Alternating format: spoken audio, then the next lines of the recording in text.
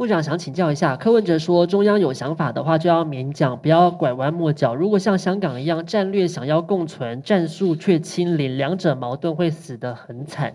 那想请问我们现阶段的防疫策略是什么？又或者是说，我们一直不想明确的说明我们要朝哪条路走的原因是什么？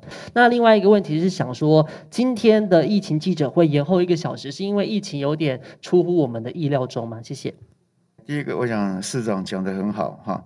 那但是第一个就是我们的哈战略战术没有矛盾的地方，我们很清楚。所以特别我们昨天又讲的更清楚，我们是要在趋近正常生活，完全要对正常生活哦，不至于限制妨害过大，在过正常生活下的积极抗疫。好，这是我们现在整体的战略就是这样。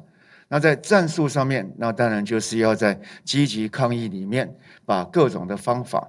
比如在各种医疗资源的分配，那在住院、疾检所各方面的一些准备，都要把它做完全来。好，那也跟大家每天来报告一下，就是说有没有轻重症的一个情况，让大家了解台湾这疫情的影响到底怎么样。所以，我们这个战略战术没有矛盾，而且是很清楚。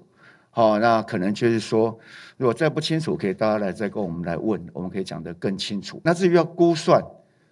模型我不断在估算中了，啊，可事实上我相信全世界没有人有办法在事前去估去估算，说啊可能会有一波，可能有比较大坡，可能一波比较小坡，可以来这样子讨论。但要估算说多少人，哦，坦白讲，我相信从我观察这么多以来，哦，每个国家在讲的跟后来发生的，我们都有积极去注意，那也推上很多的模型去验证，那发觉实在是变数实在太多。哦，很难做这样的一个直接的推估。